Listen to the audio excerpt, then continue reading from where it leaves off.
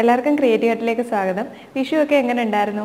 ഇവിടെ ഞങ്ങൾക്ക് പ്രത്യേകിച്ച് ആഘോഷങ്ങളൊന്നും ഇല്ലായിരുന്നു. എല്ലാ ദിവസത്തെയും പോലെ തന്നെ പോയി.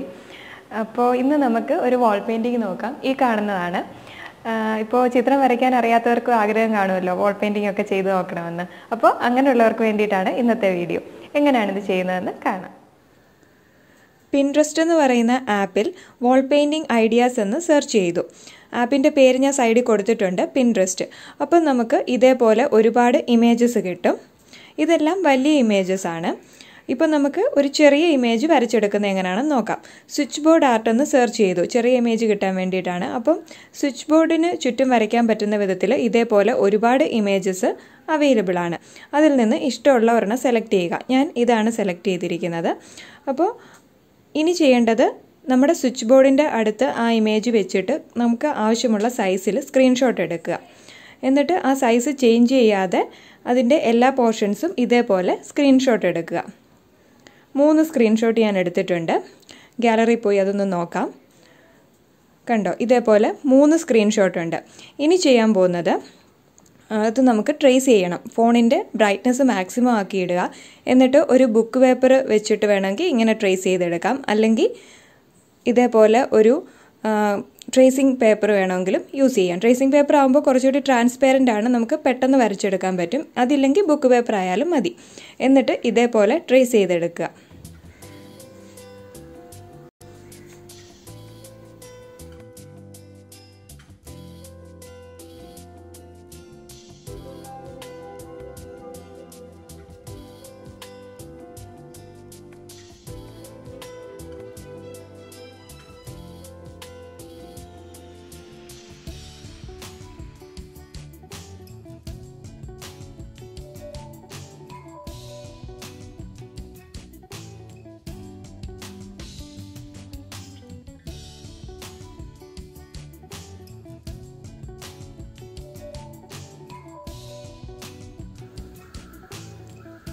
അങ്ങനെ എല്ലാം ട്രേസ് ചെയ്തെടുത്തിട്ടുണ്ട്. ഇനി ഇത് സ്വിച്ച് ബോർഡിന്റെ സൈഡിലേക്ക് കോപ്പി ചെയ്യാൻ വേണ്ടി ഒരു സാധാ കാർബൺ പേപ്പറാണ് ഉപയോഗിച്ചിരിക്കുന്നത്.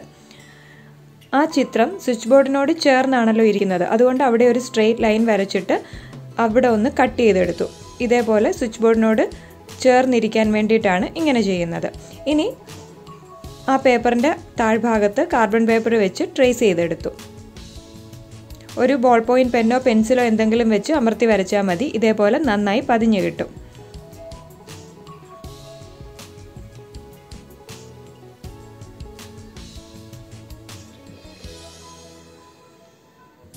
ബാക്കി ചിത്രങ്ങളും കൂടെ ഇതേപോലെ ട്രേസ് ചെയ്ത് കൊടുക്കാം. ഇതിപ്പോൾ വളരെ സിമ്പിളായിട്ടുള്ള ഇമേജാണ് വരയ്ക്കാൻ അറിയാവുന്നവർക്ക് ഈസി ആയിട്ട് വരയ്ക്കാം.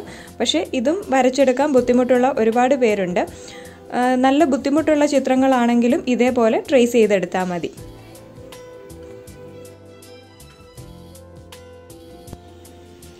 ബ്ലാക്ക് കളർ അക്ലിക് പെയിന്റാണ് ഇതിന് വേണ്ടിയിട്ട് എടുത്തിരിക്കുന്നത്.